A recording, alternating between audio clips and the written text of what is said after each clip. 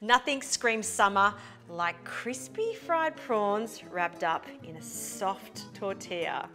The first thing we're going to make is the tartare sauce. Into a bowl, some mayonnaise and some yogurt, a little bit of lime zest and the flesh of the lime, onion and some pickle, and for a little heat, Tabasco.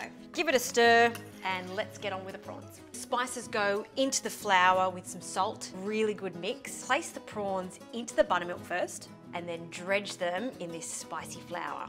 Once that oil is hot, in with the prawns and you want to cook them until they're golden brown. For the flour tortillas, simply warm them up for about a minute on each side in a warm pan. And then to keep them warm, just pop them in a clean tea towel. On with our Mexican style tartare sauce.